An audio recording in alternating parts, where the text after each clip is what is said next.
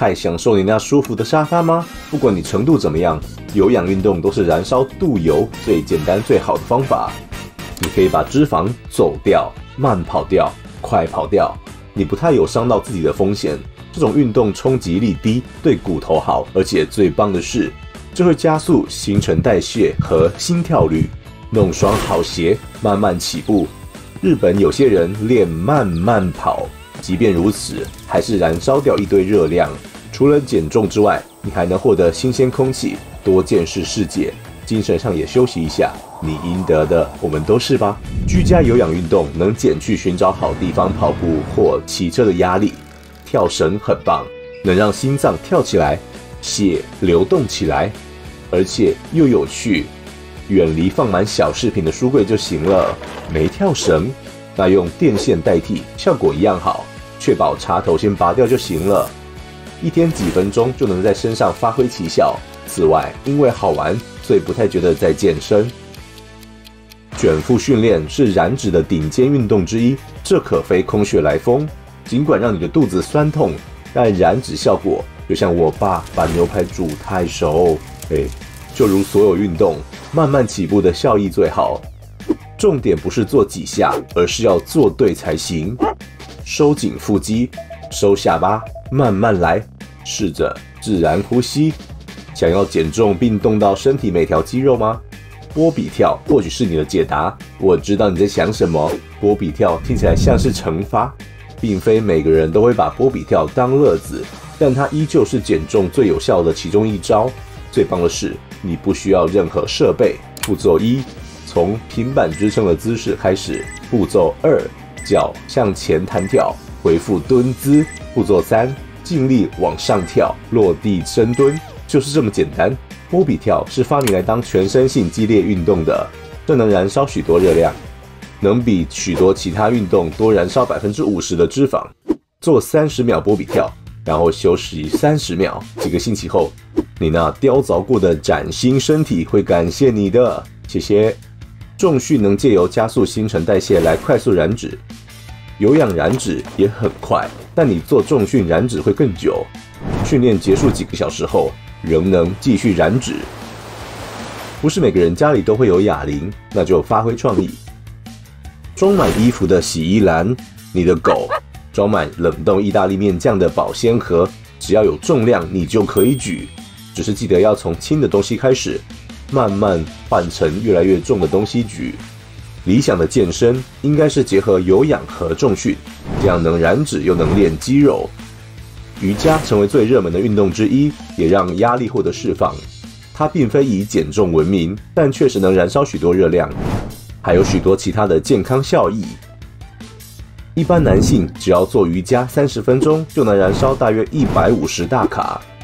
瑜伽也有益于正念认知、柔软度、平衡、控制食物摄取，以及更重要的减轻压力。瑜伽最棒的部分是，你在家里就能做，随时能做，只要确保手边有条毛巾就行。瑜伽没你想的那么简单。我讲过巧克力减重了吗？没，我还没。不过你没有在做梦，是真的。黑巧克力的热量高，所以你只需要一小口，没人会抱怨吧？谁会吃一小口就停啊？哎，黑巧克力里的单元不饱和脂肪酸是健康的脂肪，身体用它来燃烧热量。这些美味的巧克力脂也有助于控制你对糖和其他不良食物的渴望。进食前吃一小块。就能减缓消化，让你饱足更久。你不会觉得吃一堆脂肪能帮你减重，但好脂肪确实是存在的。其实有各种美味的脂肪等着被吃下肚，像是蛋、坚果、洛梨这样的食物，能健康的协助减少肚油。淋一点橄榄油也无伤大雅。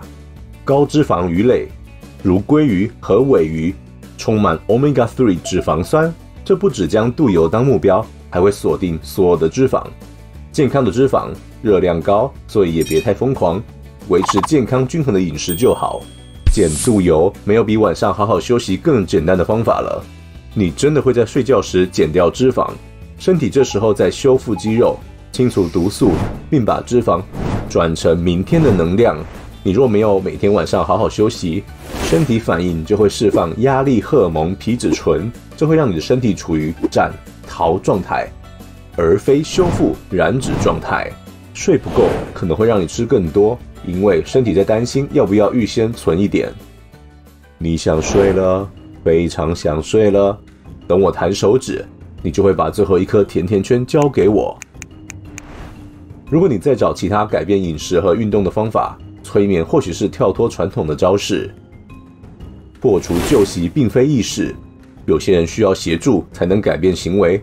暴食、不想运动、不良睡眠习惯，这些都可能用催眠改变。事事又无伤，尤其是你真的难以改变自己行为的时候，催眠的唯一问题点是，如果你很固执，它可能没用。哦。我们减重最接近魔药的肯定是茶了。绿茶充满抗氧化剂，是减重的良方。此外，喝茶让你健康又补充水分。绿茶的味道不是人人爱，那就用其他燃烧脂肪成分加点料。肉桂和姜会刺激胃的新陈代谢，把那些脂肪细胞在肚里燃烧掉。一片柠檬或一点蜂蜜也有帮助。如果绿茶不是你的菜，抹茶的抗氧化剂还更多，不过要小心。很多公司在抹茶里加糖。一定要看标示。我们都会间歇性断食，而且根本不自知，就是在睡觉的时候。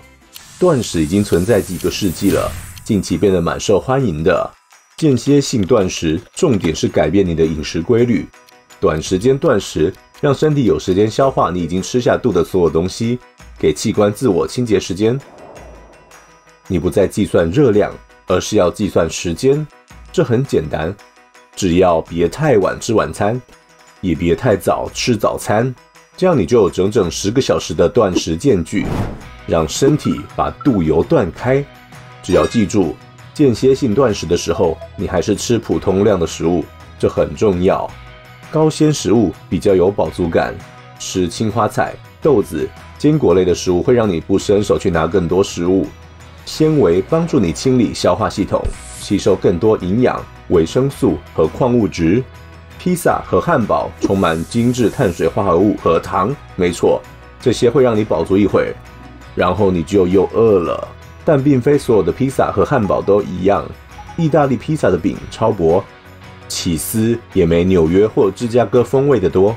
心情不好，想来点酥脆零食的时候，很难只吃蔬菜水果，但身体之后会感谢你的。试试看换成克杏仁。切点小黄瓜或红萝卜。